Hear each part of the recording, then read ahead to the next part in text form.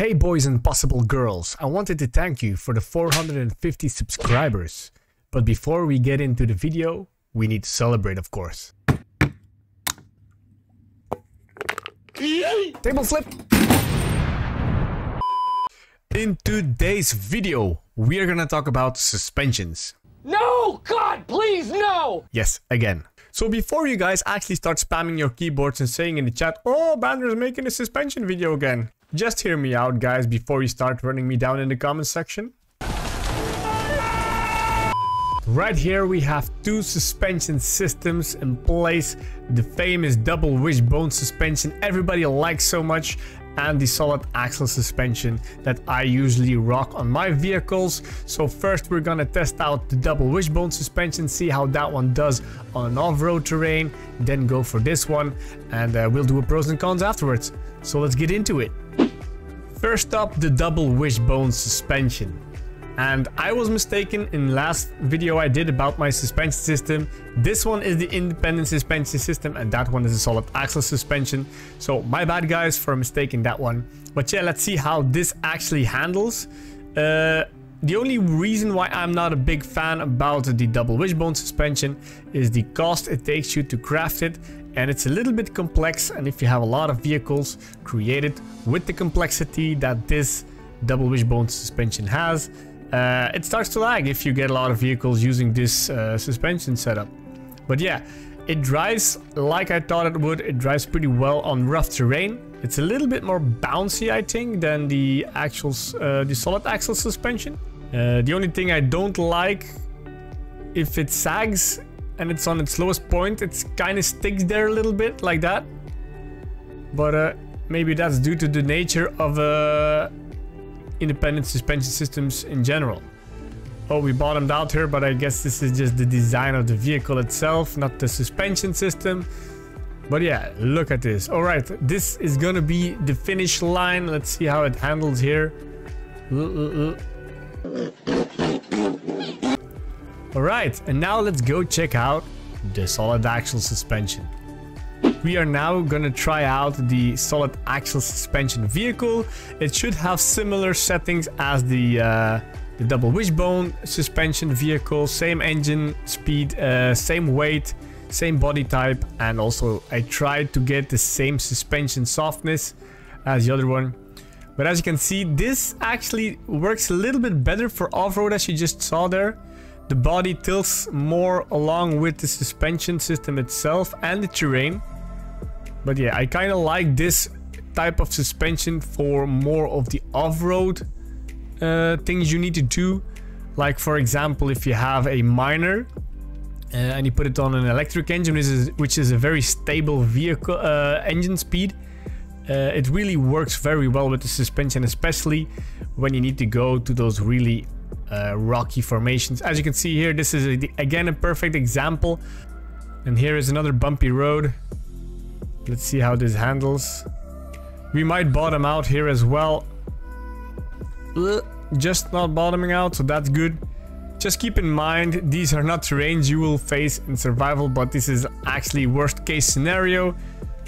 So we will do a normal world after this one. As you can see, it behaves a little bit different, but still I prefer this type of suspension for off-roading, but uh, I might prefer this one for just traveling uh, in general. So let's get to another map and I will BRBs once we get there. We have both the double wishbone and solid axle suspension buggies ready to test out uh, how they fare. So I'm just gonna drive into a straight line to the end of the map and see how long it takes for my vehicle to turn from its destination. So I'm just gonna push forward. That's all I'm gonna do. And let's see how well this vehicle stays on its path. As you can see, I think this engine is a little bit slower. But uh, the suspension is actually working pretty well to keep the vehicle as balanced as possible. Just keep in mind, this is still scrap mechanic, boys and possible girls. This is still scrap mechanic. As you can see, we are uh, getting into a little hill here. Oh no, it flips! Ah, and this is where this car stops. Let's do the same thing here and see how this one handles.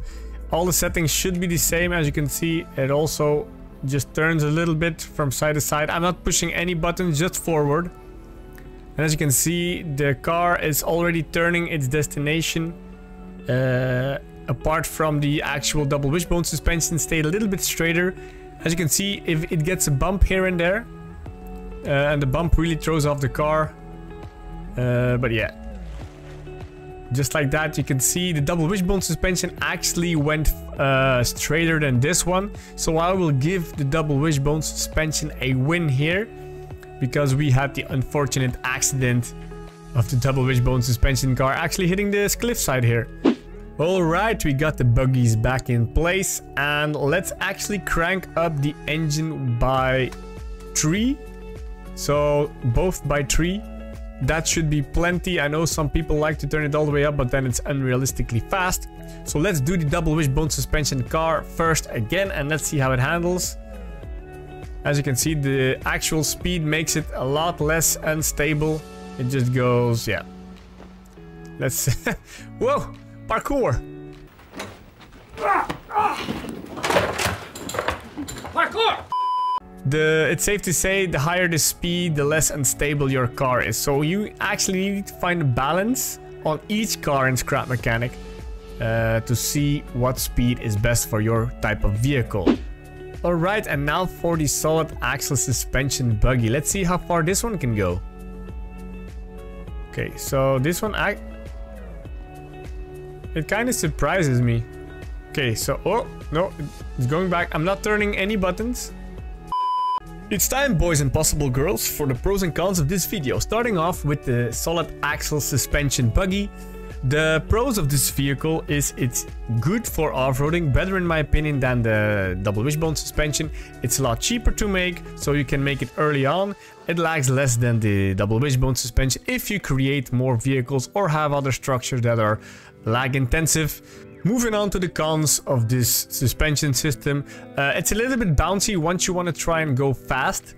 Uh, it's not that good of a suspension for actually traveling fast. So for a scouting vehicle, I would recommend a different suspension.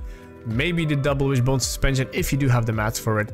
Uh, other than that, I don't think there's any downsides of this one. Let's get to the pros and cons of the double wishbone suspension system.